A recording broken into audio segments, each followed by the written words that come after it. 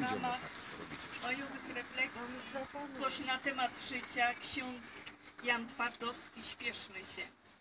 Śpieszmy się kochać ludzi, tak szybko odchodzą. Zostaną po nich buty i telefon głuchy. Tylko to, co nieważne, jak krowa się wlecze.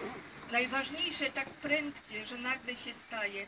Potem cisza normalna, więc całkiem nieznośna. Jak czystość urodzona najprościej z rozpaczy. Kiedy myślimy o kimś, zostając bez niego. Nie bądź pewny, że czas masz, bo pewność niepewna. Zabiera nam wrażliwość tak jak każde szczęście. Przychodzi jednocześnie jak patos i humor, jak dwie namiętności wciąż słabsze od jednej.